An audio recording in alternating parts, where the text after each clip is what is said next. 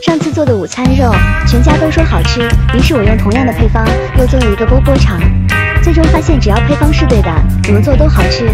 这里是五百克猪后腿肉，二肥八瘦，按屏幕上的配方加调味料，量一定要称好，这是好吃的关键。料理机打成泥状，放碗中备用。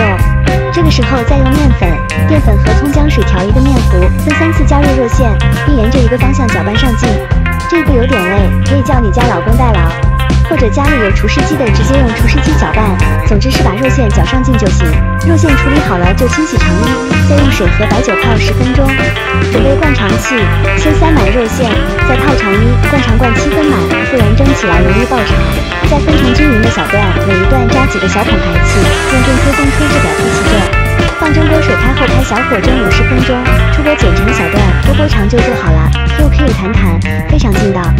不着急吃的可以冷冻保存，吃的时候刷一层油，空气炸锅一百八十度烤二十分钟，脆皮又 Q 弹的波波肠就做好了。